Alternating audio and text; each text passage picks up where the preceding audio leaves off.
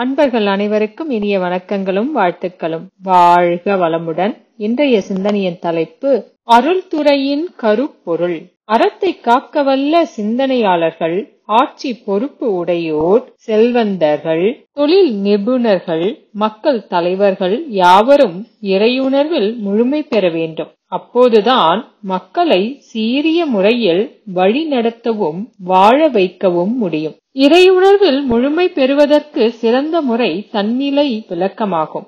இதனை ஆங்கிலத்தில் self realisation என்று சொல்வார்கள்.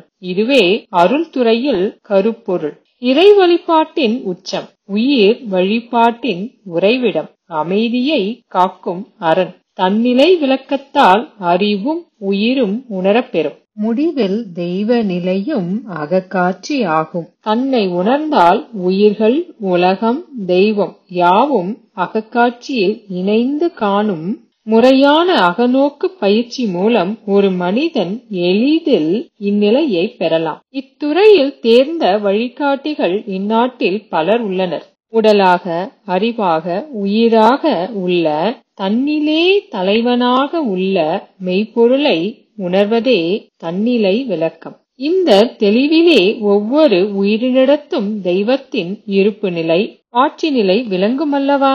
இவ்வுயர்ந்த நோக்கத்திலே எல்லா உயிர்களும் ஒரே மூலத்தை அடிப்படையாக கொண்டே தோன்றி இயங்கி வாழ்கின்றன என்ற பேருண்மை அகக்காட்சியாகின்றது. இத்தகைய அறிவின் தெளிவிலே ஒழுக்கமும் ஈகையும் இயல்பாக மலரும். கடமையும் பொறுப்பும் சிறப்பாக அமையும். தனி மனிதன் வாழ்விலே அமைதி உண்டாகும். இவ்வமைதி அன்பாகவும் கருணையாகவும் விரிந்து சமுதாயத்தில் அமைதியை பரப்பும் மேலும் அது உலக விரிவாக செயல்படும் போது உலக நாடுகளிலேயேயும் அமைதியை நிலைநாட்டும்.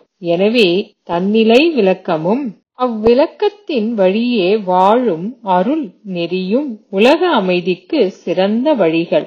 தத்துவ ஞானி வேதாத்ரி மகரிஷி அவர்களுக்கு நன்றிகள். வாழ்க வையகம்.